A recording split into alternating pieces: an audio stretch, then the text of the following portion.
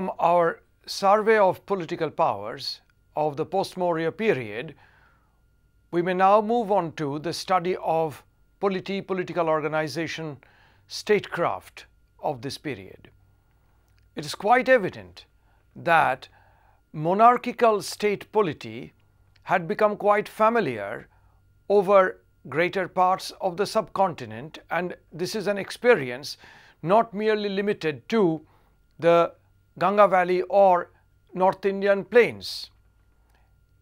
We should however keep in mind that there were some pockets of non-monarchical political groups called Ganas, Ganasanghas. These were located in the Punjab, parts of Haryana, in some areas of Rajasthan, also in certain areas of, particularly in the forest tracts of present-day Madhya Pradesh. We have already indicated that perhaps in the far south, the existence of chieftainship rather than full-fledged kingship can be seen from our previous survey of political activities in the deep south or the Dravida area. But let us look at the most frequently seen form of polity that is the monarchical state. Monarchy has become pretty widespread in the subcontinent largely because of the impact of Maurya rule over more than a century and that was not merely limited to North India but definitely penetrated into peninsular India.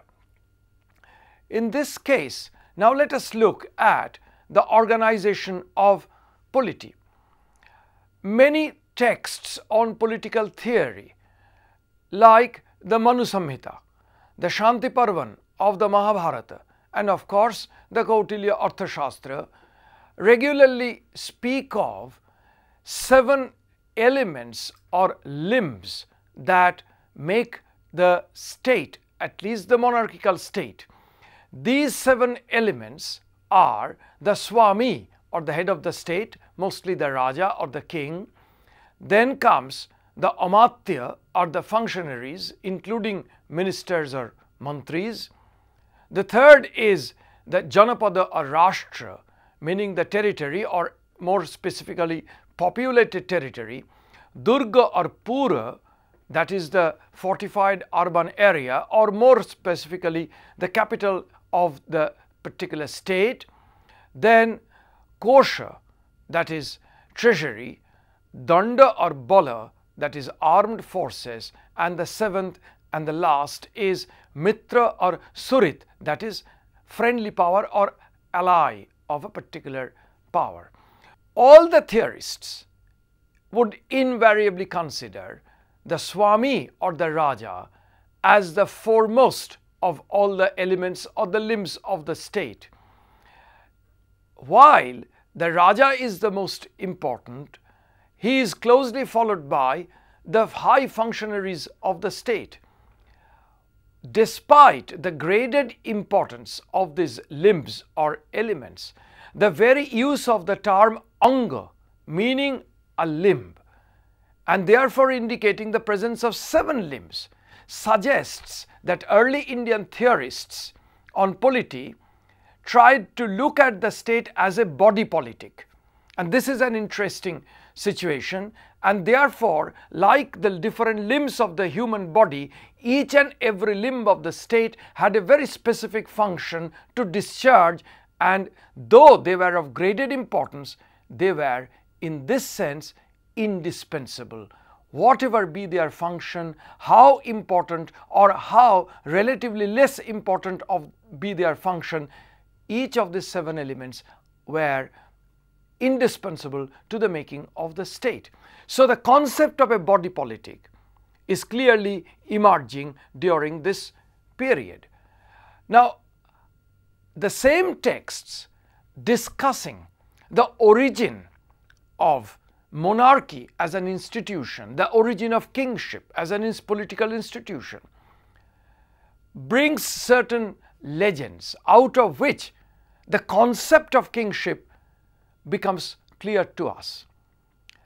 The story usually is the ruler or the king is absolutely necessary because the ruler provides protection to the life and property of the subject called Rakshana and he also is the principal authority to maintain Palana, maintain the ideal social order that is maintaining the Varnashrama dharma. So the twin plank of Rakshana and Palana are the sacred duties of the ruler. Since the ruler renders these two vital duties, the ruler is entitled to a share of the produce in the form of taxes. In fact, the taxes in some texts has been seen as wage, vetana for the ruler. So what emerges from here? The possibility of a very early contractual theory of the origin of kingship in that the ruler renders certain duties and because of rendering those duties, he is entitled to a share of the produce which is brought by his subjects. So the subject has certain functions to render and similarly the ruler also has number of duties to render. So there is this element of contractual uh, contractual position between the ruler and his subjects.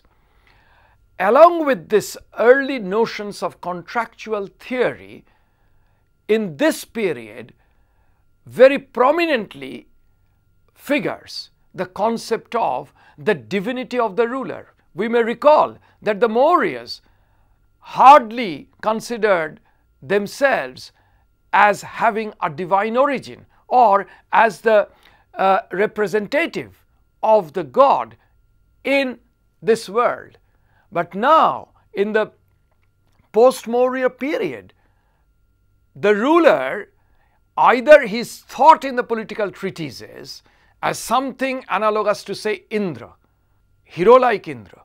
He is considered as equivalent to Varuna because Varuna is the upholder of the cosmic law and order. He is considered equivalent to Kuvera because like Kuvera he presides over wealth. This is something what may be called functional divinity. The functions of certain gods are equivalent to the functions of kings.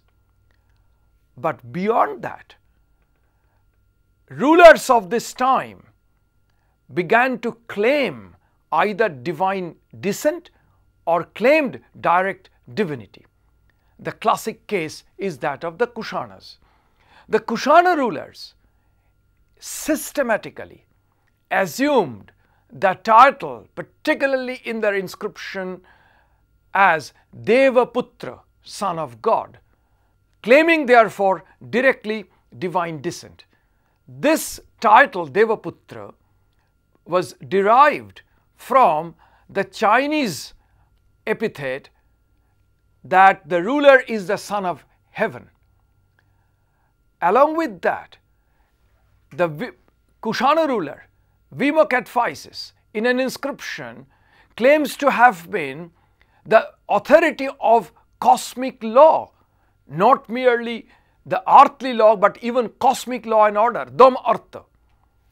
Similarly, in another inscription, Kushana ruler Huvishka claims that he was Deva Manusha, that is, a god in human form.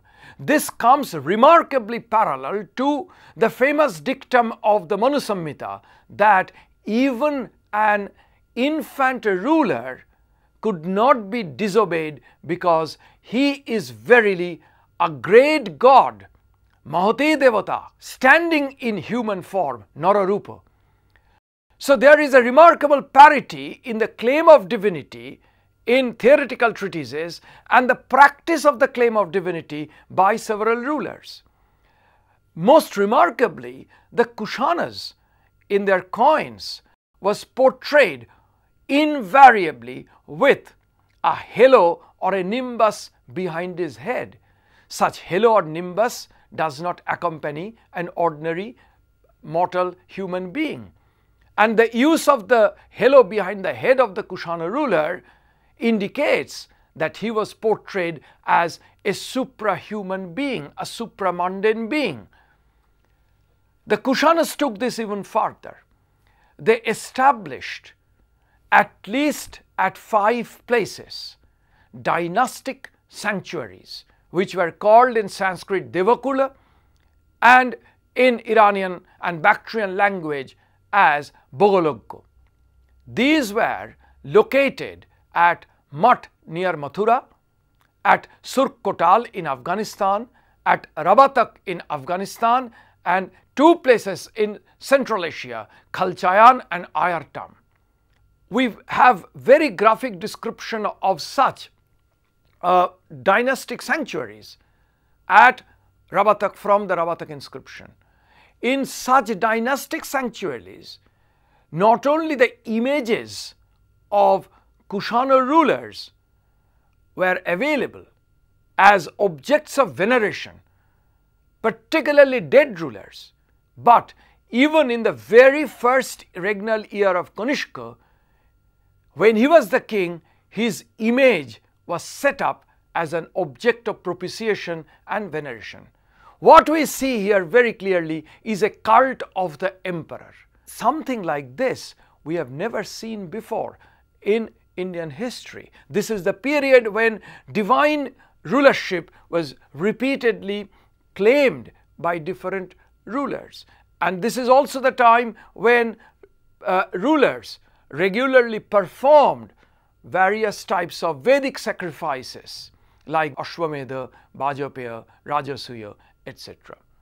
The ruler definitely is the central point in the administration, but he could not run the administration single-handed and required assistance. This assistance came in the form of the Amatyas, the second element of the state.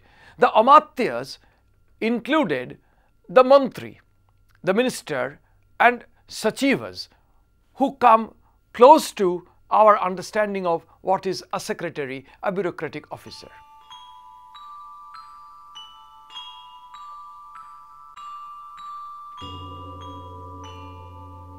Thus, we find at Junagadh, Rudradaman's governor in Junagadh area was an Amatya. Similarly, such Amatyas figure repeatedly in inscriptions of the Satavahana rulers and their successors. We find the Kushanas entrusting the management of regional level of administration with the Kshatrapas. The term Kshatrapa is obviously uh, derived from the very early experience of Achaemenid, the Persian rule in India back in the 6th century BC.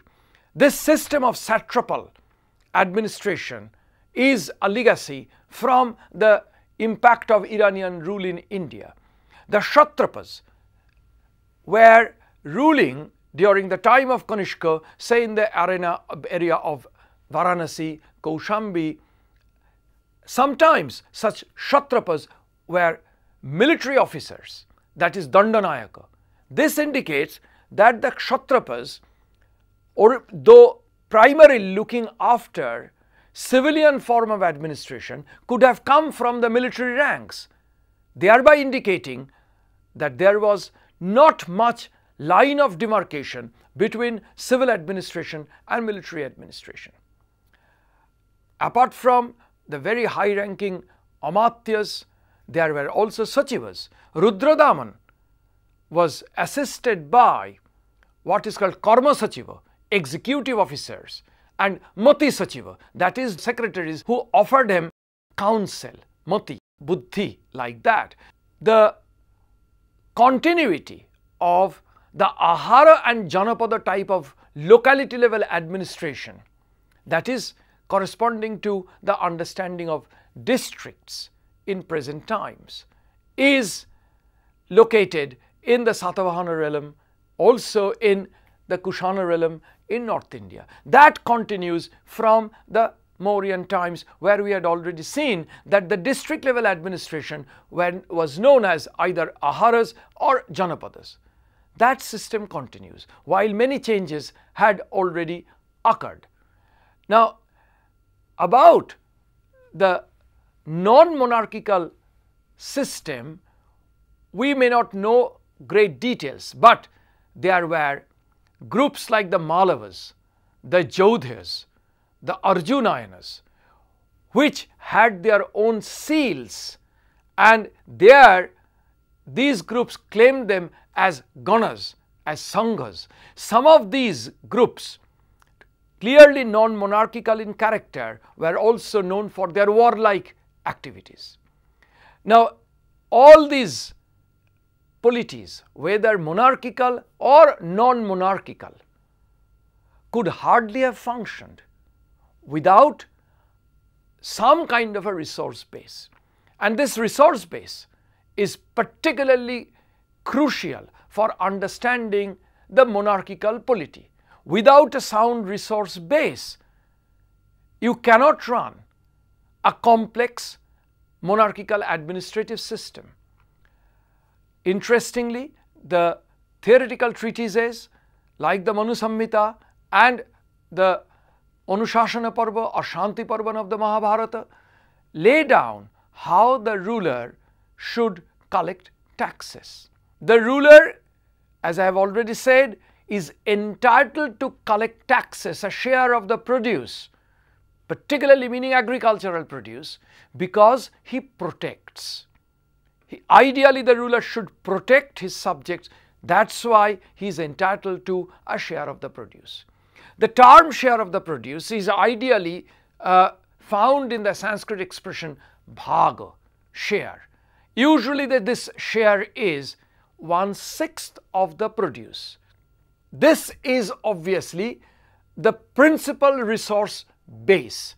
Agricultural sector provides in the form of bhaga the principal resource base of any polity in the pre-modern traditional economy of India. Along with that, another term particularly figuring in the inscription of Rudradaman along with the term Bhaga is Bali.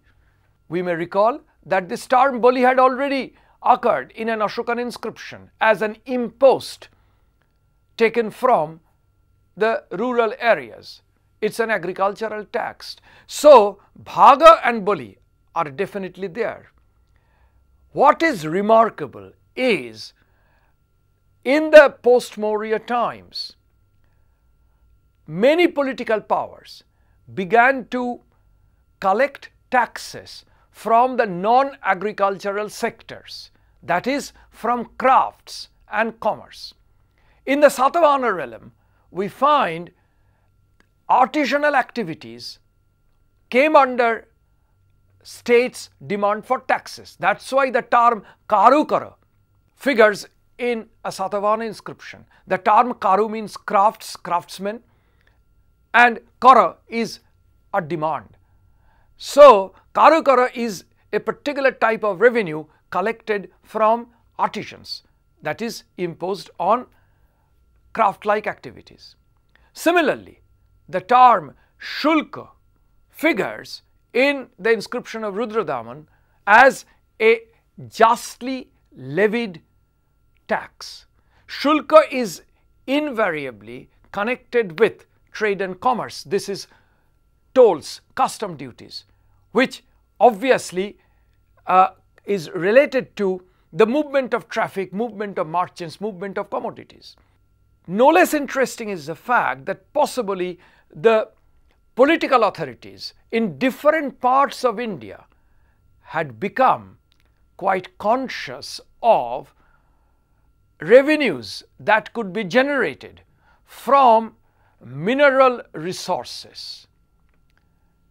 Take for example, in many of the inscriptions of the Satavahanas, we find there was a system of levying some taxes on salt production and salt is considered a mineral object. Similarly, there were certain mines particularly of diamond in the present day Panna area of Madhya Pradesh, which could have yielded taxes to the Kushana state.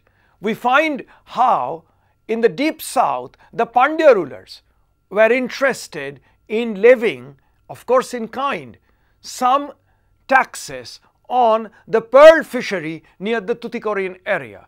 This area provided the best possible pearls. Now, all these points would indicate that the political powers were interested in realizing revenue not merely from agricultural resources but also from non-agricultural activities like crafts and commerce.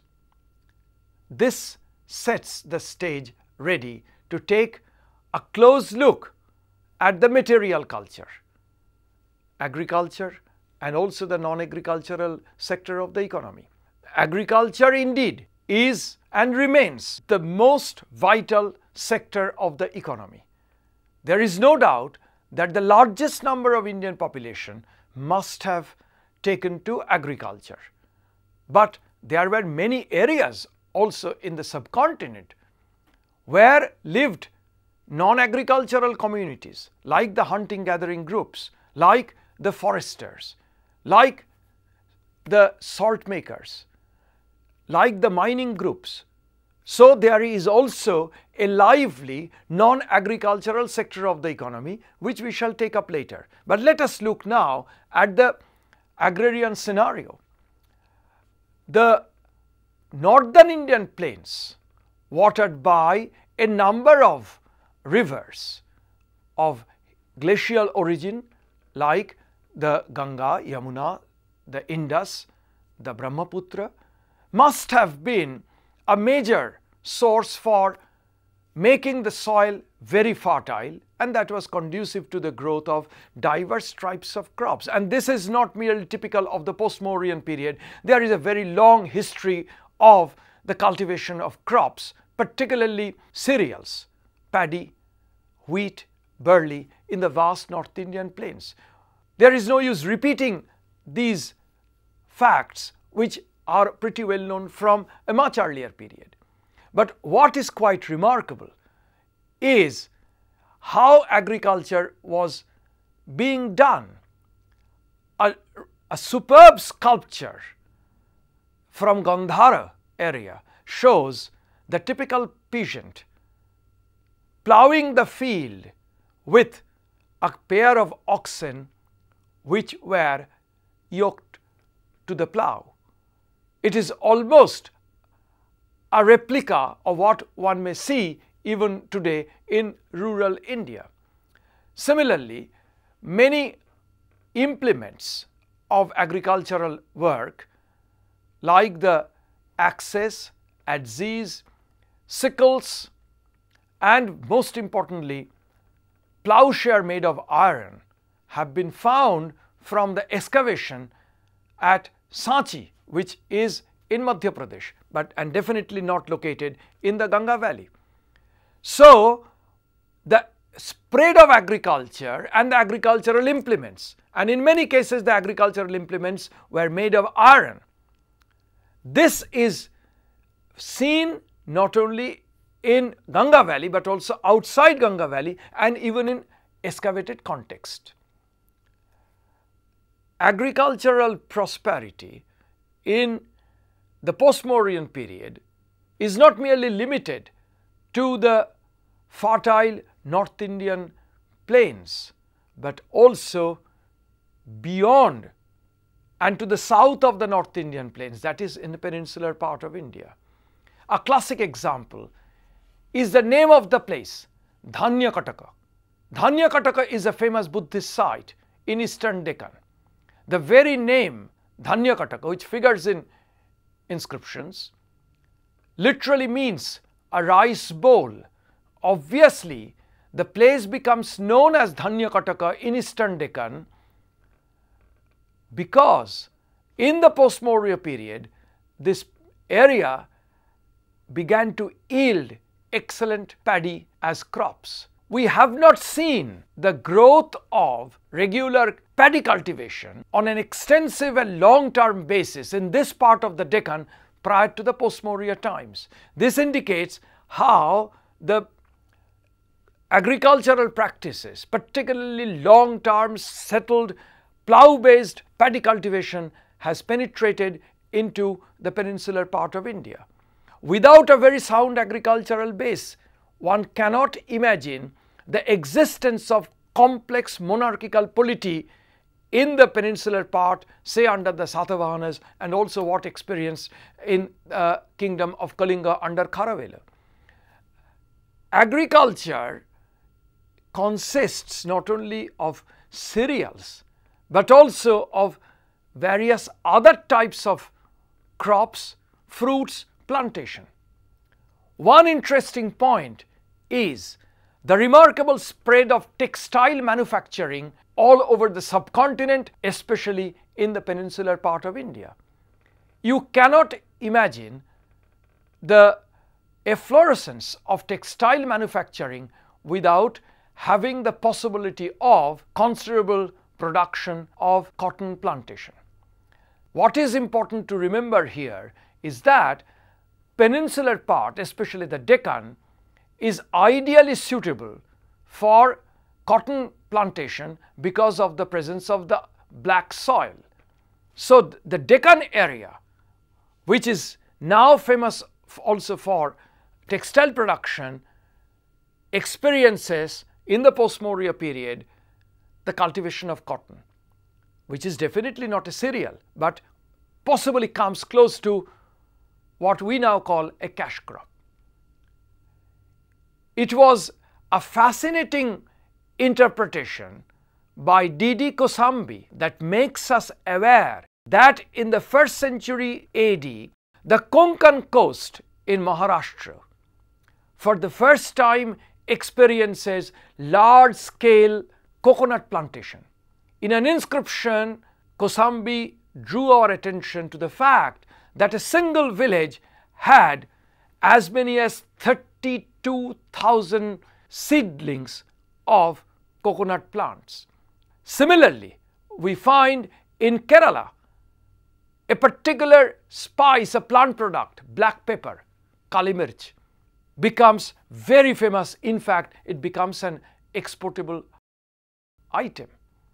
The areas in deep south called Marudam in the Sangam literature were located in fertile river valleys and ideally suitable for paddy cultivation.